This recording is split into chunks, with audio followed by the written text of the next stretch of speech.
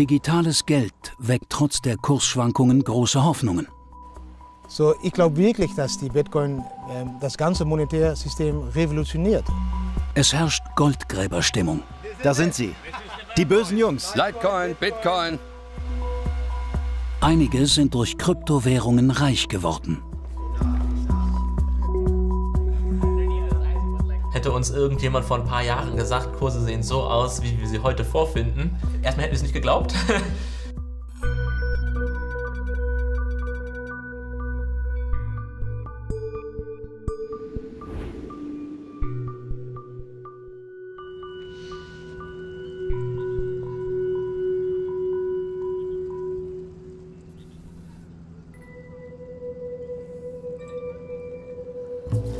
Auf der Insel Koh Phangan in Thailand verbringt Didi Taihutu die kalten Wintermonate mit seiner Familie. Der Holländer ist Bitcoin-Millionär und spekuliert auch mit diversen anderen Kryptowährungen. Mama übt den Handstand, aber sie fällt immer wieder um. Sie schafft's nicht? Die zwölfjährige Jolie bringt ihrem Papa morgens das Frühstück an den Arbeitsplatz. Ein bisschen weiß sie, wie er das Geld verdient. Wenn der Bitcoin hoch ist, verkaufst du ihn. Wenn der Bitcoin niedrig ist, kaufst du ihn. Und dann bekommst du Geld dafür. Das ist mein Mädchen. So verdient Papa ein bisschen Geld. Ja. Am Anfang gucke ich immer nach die Kurse. Was macht Bitcoin heute? Ich trade so mit 20 Prozent von unserem äh, Gesamtkapital. So, das muss ich jeden Tag ein bisschen checken. So. Wie steht das? Was muss ich verkaufen? Was muss ich kaufen jetzt? Was sind heute die Nachrichten? Sind das gute? Sind das schlechte? Sind das gute, geht der Kurs immer oben? Geht, sind das schlechte, geht er nach unten? Weil der ganze Markt wirklich emotional ist. Heute sind es schlechte Nachrichten. China verbietet den Kryptohandel. Dann weiß ich schon, die Kurse gehen runter. 2017 ging die Familie ein großes Risiko ein. Sie wandelte ihren ganzen Besitz in Kryptogeld um. Dafür verkauften sie zwei erfolgreiche IT-Firmen, ein großes Haus und drei Autos. Mit den Gewinnen aus dem digitalen Geld wollen sie ihr Leben bestreiten, unabhängig, ohne Ballast. Trotz der Kursschwankungen, Didi glaubt weiterhin an die Zukunft auch anderer digitaler Währungen wie Ethereum, Monero oder Neo. Ein einschneidendes Erlebnis war der Tod des Vaters. Deshalb hat Didi das normale Arbeitsleben aufgegeben. Und er hat gesagt, Didi, ich muss dir etwas erzählen. Und ähm, sitzt du? Ich sag, ja, ich sitze natürlich, Pap. Und er hat gesagt, ähm, so, ich habe Krebs. Und ich habe noch ein Jahr zu leben. Und dann bin ich zu Hause gekommen. Dann mein Vater in Handen genommen. Ja, dann, äh, dann wirst du wirklich äh, traurig. Dann denkst du, okay, muss ich jetzt noch äh, so zehn Jahre so weitergehen, arbeiten, nur arbeiten und dann krank werden und dann tot gehen, wie meine Mutter am 48, mein Vater am 61. Nee, jetzt alles verkaufen. Betrieb verkauft, in zwei Monaten Zeit habe ich zwei Betriebe verkauft, habe ich äh, mein Auto verkauft, bin ich auf Reise gegangen mit meiner Familie. Und dann hat das eigentlich äh, angefangen. Dass die Bitcoin-Geschäfte vielleicht nur eine Blase schaffen, schreckte auch Didis Frau Romain nicht ab. Nein, gar keine Angst. Das hatte ich gar nicht. Ich war das zu Hause wirklich äh, müde, möchte gerne weg. Das war nicht mehr für uns. Vorher war ich äh, sehr strukturiert. Alles äh, morgens früh halb sieben aufstehen, äh, die, die, äh, das Brot fertig machen, alles fertig machen für die Kinder. Alles war geplant. Didi hat auf der Insel noch einiges vor, denn er will andere von der Kryptowährung überzeugen. In Deutschland gilt die Hauptstadt Berlin als Krypto-Hochburg. Das Room 77 in Berlin-Kreuzberg war die erste Kneipe weltweit, die Bitcoins als Zahlung akzeptierte. Die Bar bietet einen Stammtisch für Anhänger der virtuellen Währung und für Brancheninsider.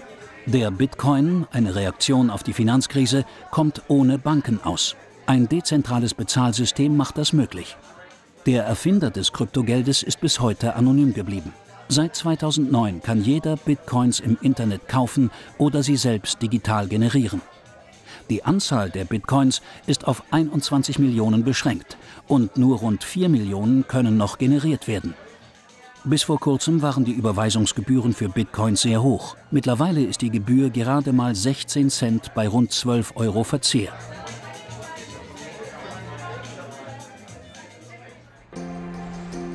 Drei junge Kryptopioniere aus Berlin wollen die Technologie hinter dem Bitcoin weiterentwickeln. Im Zentrum von Berlin haben sie eine WG und ein Start-up gegründet.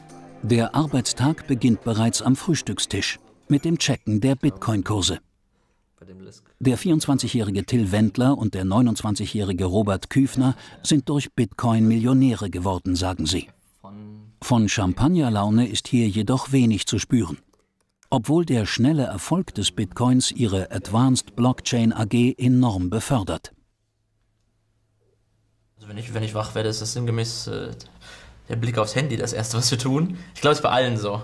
Ja, das ist irgendwie so eine Angewohnheit zwischendurch, so wie vielleicht äh, viele Leute irgendwie auf Social Media die Zeit verbringen. Die Firma entwickelt Technologien für neue, dezentrale Computernetzwerke. Eine Geschäftsreise soll die dringend benötigten Kontakte zu Entwicklern und Investoren bringen. Fliegt am 1. fliegt um 9 Uhr hin, um 11.30 Uhr werdet ihr abgeholt, dann habt ihr, fahrt ihr kurze Unterkunft, dann fahrt ihr zur Age Farm, dann habt ihr da Lunch äh, nach einem vollen Programm aus für die Tage. Jetzt, wo die Sache so busy ist, gibt es im Prinzip kein richtiges Privatleben mehr. Deswegen wohnen wir auch alle zusammen, reisen zusammen, haben uns hier diese Bude direkt gegenüber vom Office genommen. Wir brauchen die Zeit, um, um, um nach vorne zu kommen. In dem neuen Markt auf der Basis der Bitcoin-Technologie ist es wichtig, schnell zu wachsen. Robert will zum Global Player werden. Ja, wir, wir sind ja viel unterwegs, deswegen also ich habe irgendwann bin ich alles losgeworden und ähm, da wird ziemlich viel Reisen, das ist alles, was ich habe. Also Klamotten, alles passt in einen Koffer. Von der WG zum Büro in der Invalidenstraße brauchen die Jungunternehmer nur zwei Minuten. Ihre Firma ist börsennotiert. Der Druck ist groß. Den Vertrauensvorschuss der Investoren dürfen sie nicht verspielen. Und dann kontaktiere bitte nochmal den, den Philipp äh, wegen der Konferenz am Dienstag. Auch Roberts Freundin Elisabeth ist mit im Team. Die gelernte Industriekauffrau ist Quereinsteigerin, wie viele hier wir konzentrieren uns heute nicht auf die Spekulation mit Kryptotokens oder sinngemäß das Wetten auf die Kurve, sondern wir interessieren uns für die dem zugrunde liegende Technologie und für Anwendungen von der Technologie in der Industrie. Der Ansatz ist Dezentralisierung. Hier ist mein Freund in Neuseeland und hier bin ich. Und ich überweise Wert direkt zu meinem Freund, ohne dass ein, irgendeine Bank dazwischen ist oder irgendein anderer Mittelsmann. Natürlich gibt es auch Kritik daran, dass, dass es quasi keine regulierte Instanz dazwischen gibt, die, sage ich mal, kontrolliert, ob, ob diese Transaktionen auch ähm, ja, für, nur für legale Zwecke verwendet werden. Das System funktioniert über die Blockchain-Technologie. Findet eine Überweisung von einer Person zur anderen statt, werden die Transferdaten in der Blockchain gespeichert. Digitale Kopien dieser Information gehen sogenannten Bitcoin-Minern zu, die sie bestätigen. Diese Informationen sind weltweit dezentral auf Tausenden von Rechnern gespeichert, um Manipulationen zu verhindern. Die Miner werden selbst in Bitcoins entlohnt. Till und Robert wollen für große Konzerne weitere praktische Anwendungen der Blockchain entwickeln.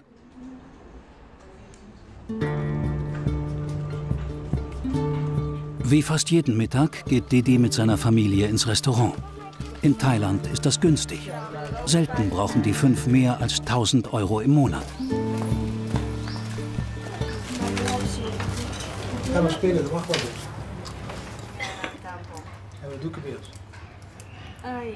Die Thai-Hutus leben minimalistisch. Das gehört mit zur neuen Philosophie. Zurück zum einfachen Leben, trotz finanziellen Reichtums. Ich wollte Millionen haben, bevor ich 30 war. Das war mein das Leben früher. Wir sind Kryptomillionär. Ja, so, ja, wie alle Leute sagen, das kann auch eine Blase sein und dann sind wir wieder bankrott. Für uns ist das keine Sicherheit. Und wenn ich jetzt umstelle nach Dollar oder Euro, ist das für mich noch immer keine Sicherheit. Weil ich glaube, dass auch wieder eine Krise ankommt und dann ist das auch wieder weg. Ja, dann, dann, die Sicherheit, die ich wolle haben, ist, dass ich äh, glücklich bin, zusammen mit meiner Familie und dass ich das Leben leben kann. Didi bezahlt das Essen mit Bitcoins. So, wie bald ich die QR-Code sehe jetzt, sagt er fertig. So, ich kann auch sehen, die Transaktion ist jetzt in, äh, in Behandlung. So, das dauert so ein oder zwei Minuten und dann ist das Geld bei ihm drin und dann ist es fertig. Ich komme jetzt durch das Reisen mehr und mehr ähm, Plätze, wo Krypto akzeptiert wird. Okay. Wo, wo ist der Laptop dann? In deiner Tasche muss der ja liegen.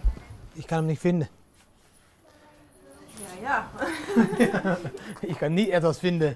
In Thailand leben die Taihutus in einem Ferienresort in zwei kleinen Bungalows. Ein großer Unterschied zu den 280 Quadratmetern in ihrem früheren Haus in Holland. Ja, aufgeräumt. mein Gott, ja. Ich habe Das ist eng. So, und Kochen und alles ist auch schwierig, weil das ist alles hier. Ein Krypto-Abenteuer mit wenigen Habseligkeiten. Auch die Kinder haben fast all ihre Kleidung und ihr Spielzeug verkauft. Der kleine Teddybär gehört mir. Der dort ist von Juna, das Kissen ist auch von Juna und der dort ist von Jessa. Manchmal ist es hart, mit Juna und Jessa in einem Bett zu schlafen. Jessa schläft nämlich so. Zum Glück schläft Juna so. Mit ihr habe ich Glück. Aber Jessa? Hm.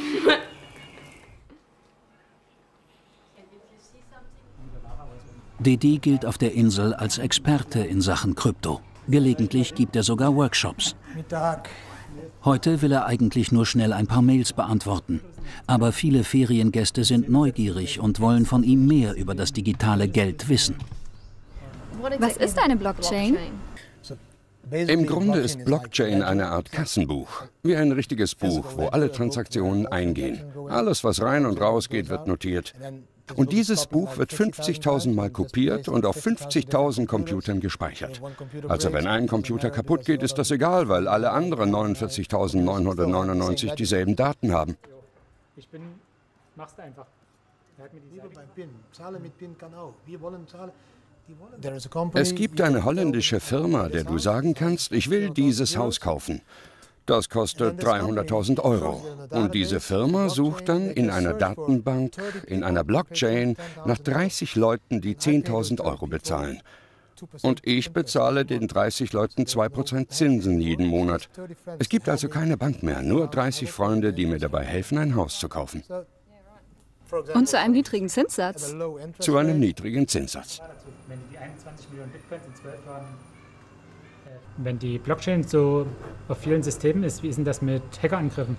Beim Blockchain haben wir, reden wir über 10.000 Computer. So der Hacker muss dann auf 10.000 Computer auf das gleiche Zeitpunkt etwas ändern. Das ist nicht möglich.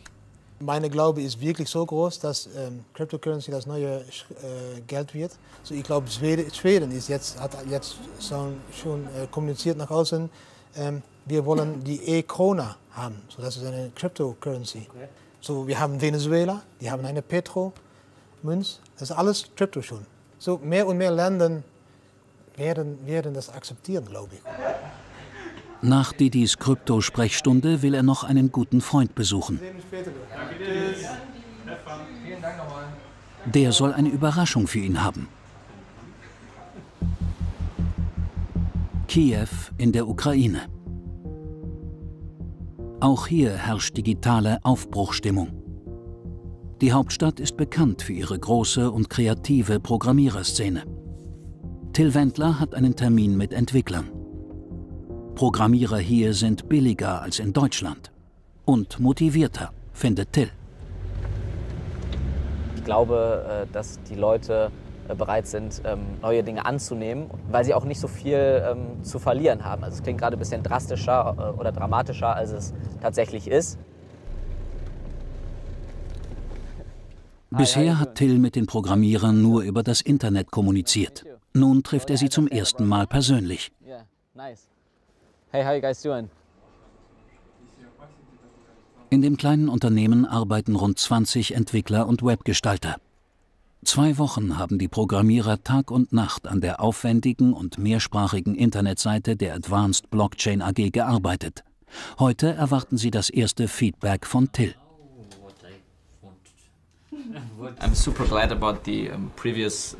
Ich bin sehr zufrieden mit der Arbeit, die ihr gemacht habt. Alles lief super schnell und super gut und so sollten wir das auch mit jedem weiteren Projekt machen. Wir haben ja gehört, dass ihr die Internetseite letzte Woche online gestellt habt.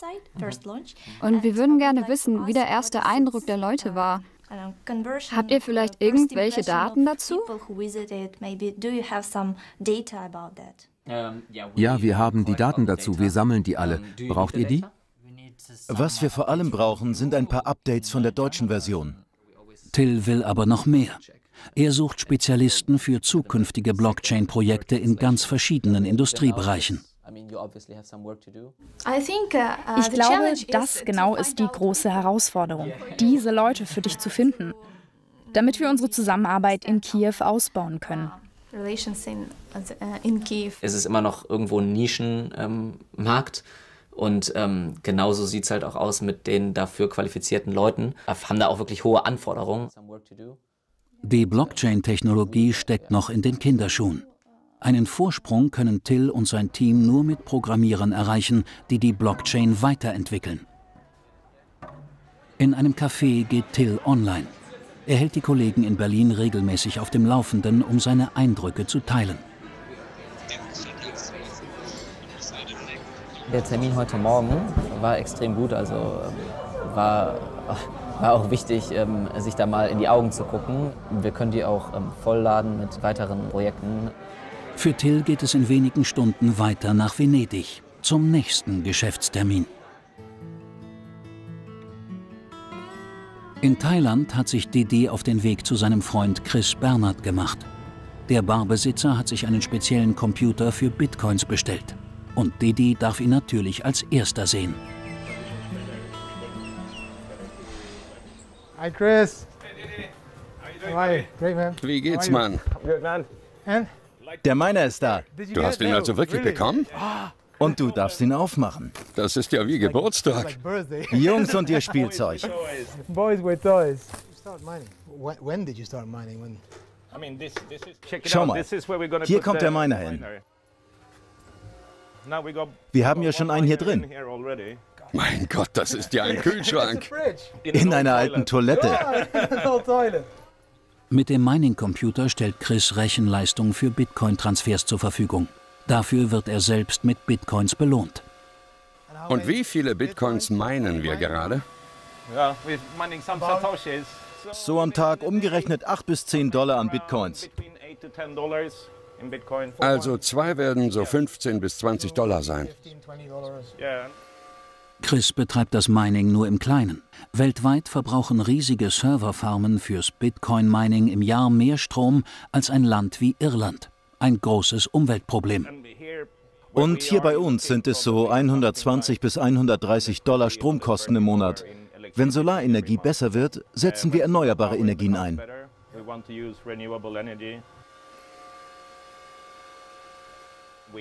Wir hoffen auf eine Veränderung und wir wollen ein Teil davon sein. Wenn man dann damit auch noch Geld verdienen kann, umso besser. Je mehr Leute meinen, desto sicherer wird der Bitcoin. Es wird schwieriger, in Transaktionen einzugreifen oder Daten zu fälschen. Tolles Schloss. Sicherheit geht vor. Hier kannst du die Belohnung sehen, das, was du bisher verdient hast. Das hier ist die noch nicht bestätigte Belohnung. Die kannst du hier auch sehen. Heute war ein guter Tag. Chris hat schon 3,50 Euro verdient. Willst du den heute noch zum Laufen bringen?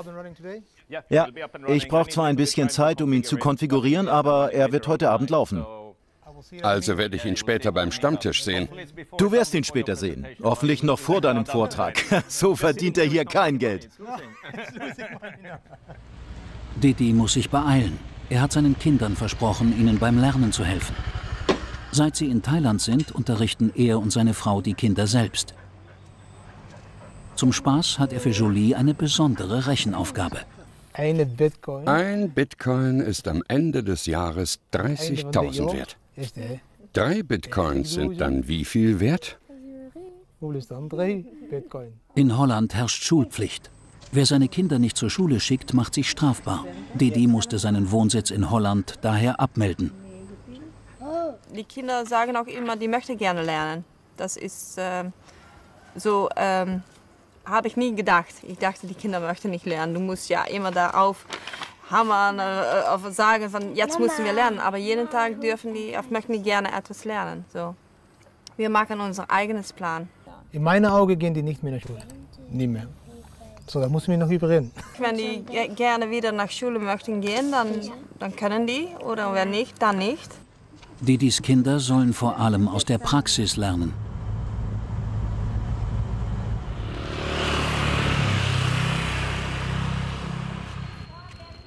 Anschauungsunterricht in einer nahegelegenen Tempelanlage. Didis Vater stammt von den Molukken. Sich verschiedenen Kulturen und Religionen zu öffnen, das will er jetzt seinen Kindern nahebringen. Über ihre Erlebnisse berichtet die Bitcoin-Familie, wie sie sich selbst nennt, regelmäßig in ihrem Internetblog. Mittlerweile haben sie eine große Fangemeinde im Netz.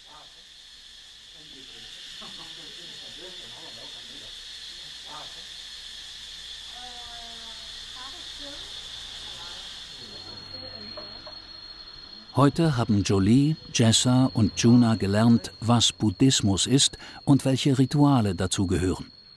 Später am Abend will Didi noch einen Vortrag zu Kryptowährungen halten.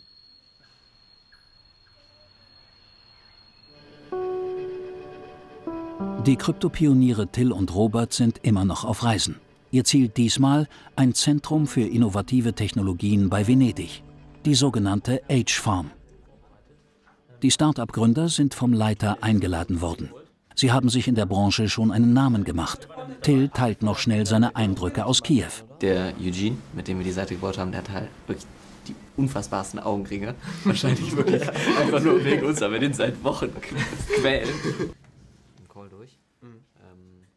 Jetzt geht es darum, sich noch internationaler zu vernetzen ich habe große Erwartungen. Also ich denke, die können uns gut unterstützen und uns ähm, vor allen Dingen Netzwerk und Kontakte liefern, von denen ich glaube, dass die Mitte dieses Jahres auf jeden Fall sehr relevant sein werden. Nice to meet you. Nice meet you. Let's see the campus, guys. All right. And let's discover the generator. Der Leiter Timothy O'Connell hält die junge Blockchain-Firma für erfolgversprechend. Die H-Farm könnte die Kryptopioniere bei Projekten finanziell fördern. Heute will er sie erstmal mit Investoren und anderen Gründern zusammenbringen. Zunächst stellt er die H-Farm vor. Es ist ein Projekt, das auch von Deutschland gefördert wird. Die Deutsche Bank ist der Hauptsponsor. Auch die Banken mischen in der Kryptowelt mit. Die Gründer aus Berlin hoffen, über die Kontakte hier mit ihrem Start-up in eine neue Liga vorzustoßen. Wir haben die Kontakte zu Entwicklern, zu Projektmanagern, aber die Zusammenarbeit mit Großunternehmen ist eine ganz andere Sache. Wachsen ist ein Problem, da gebe ich euch absolut recht. Ihr müsst aufpassen, denn wenn ihr ganz viele Projekte habt und wenn ihr euch da zu schwach aufstellt, dann könnt ihr plötzlich nicht mehr liefern, was die Kunden von euch erwarten. Was ihr zu diesem Zeitpunkt braucht, ist, dass der Kunde zurückkommt und sagt, wow, das war toll. Wir brauchen Unterstützung ähm, von Menschen, die wissen, wie man so ein Businessmodell skaliert, wie man äh, ab einer bestimmten Größe weiter wächst. Timothy O'Connell will die Jungen ermutigen. Selbst wenn ein Projekt scheitert, und das passiert, Projekte scheitern eben, ist es wichtig, daraus zu lernen und sich zu verbessern.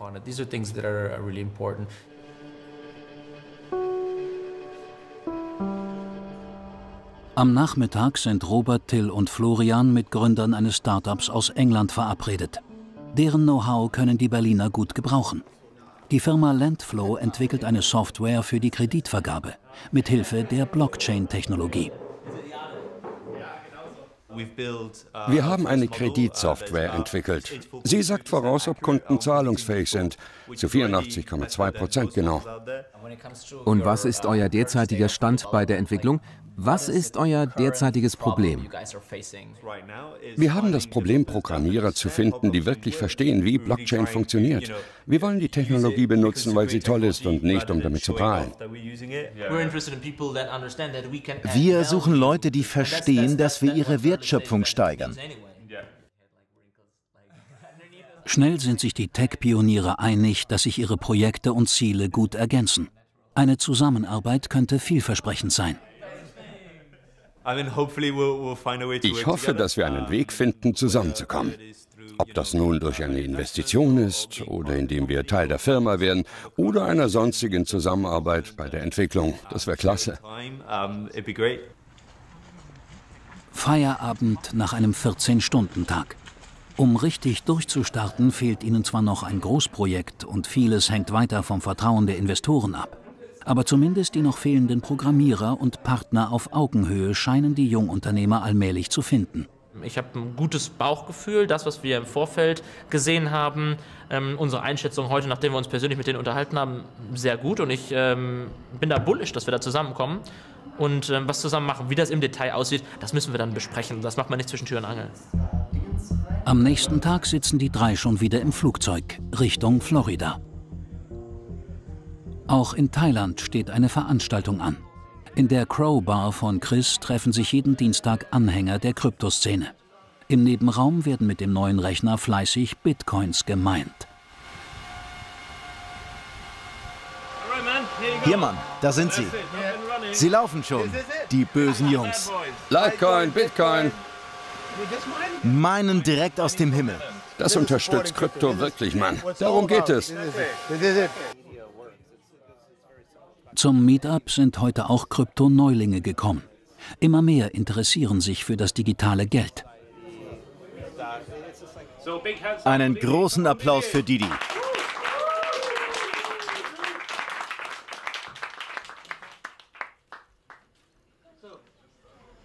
Vielen Dank, dass ihr zu unserem Vortrag gekommen seid. Ich erzähle euch die Geschichte, wie ich von dem Kryptovirus angesteckt wurde. Von einer finanziellen Freiheit, so wie die, die sie lebt, träumen viele.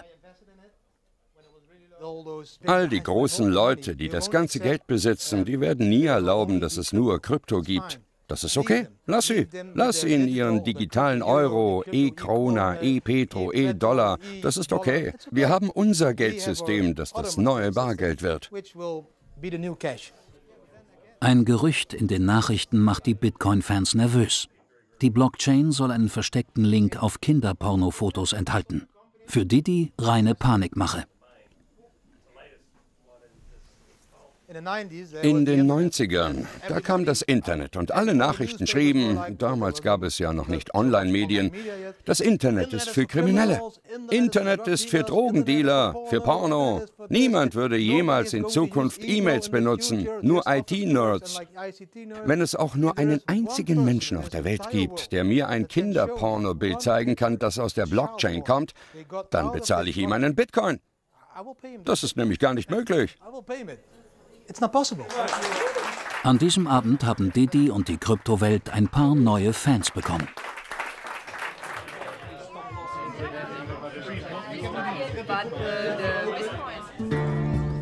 Am nächsten Tag. Didi hat den Laptop mal im Schrank gelassen. Als digitaler Nomade kann er sich seine Arbeitszeit frei einteilen.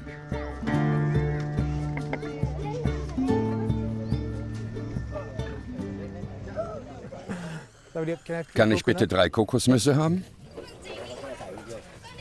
Hier wird noch in Bar gezahlt. Ganz ohne heimische Währung kommt Didi dann doch nicht aus. Ich hoffe in der Zukunft, dass, dass alle Betriebe natürlich Bitcoin akzeptieren. Ich glaube, dass die das auch in der Zukunft machen wollen, weil so Lande wie hier, ähm, die kriegen wirklich täglich ganz viel Bargeld. So, ja, wie sicherst du dein Bargeld, wenn du keine Bankkonto hast? Ich glaube, das Krypto ein bisschen äh, besser ist dafür dann, glaube ich. Mittlerweile gibt es über 100 Kryptowährungen. Coconut, do you want coconut? Welche sich von ihnen durchsetzen werden, ist noch nicht ausgemacht. An diesem Tag ist der Bitcoin mal wieder um rund 100 Euro gefallen. Doch noch hat die Familie genug, um das Leben unter Palmen zu genießen. Brauchst du vieles Geld? Nein.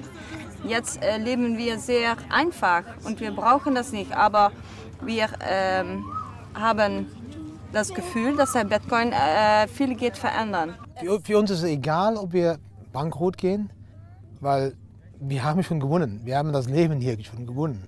Ähm, wenn wir bankrott gehen, das, das zeigt eigentlich gar nichts für uns, weil wir gar kein Geld brauchen jetzt, täglich zu leben. So, wenn du, keine, wenn du das loslassen kannst und dass du wirklich mit wenig Geld leben kannst, ähm, dann kannst du eigentlich nicht mehr verlieren. Nee, ich gehe nicht mehr zurück nach das alte Leben. Nee, nee.